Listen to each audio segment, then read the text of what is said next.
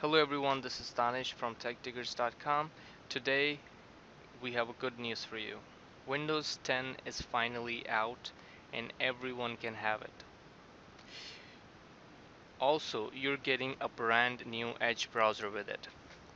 Edge is Microsoft's latest attempt at winning over the browsers market.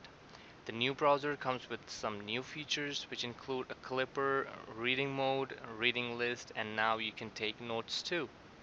So if you're willing to give Microsoft Edge a try, then the first thing you will miss is the favorites bar. Don't worry, it's there, but it's not turned on by default.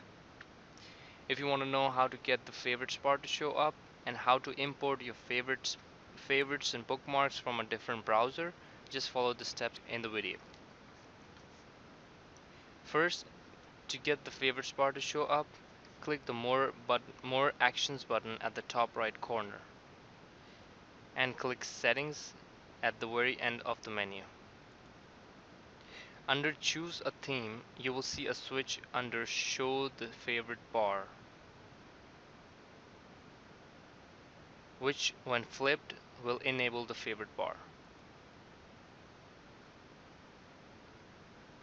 If you want to import your bookmarks from a different browser, click the import favorites from another browser option. You can import favorites from multiple browsers at once. Simple, check the ones you want to import from on the next screen and click the import button. That's all. Your favorites will be imported within minutes. Thank you for watching the video. Please subscribe to our channel.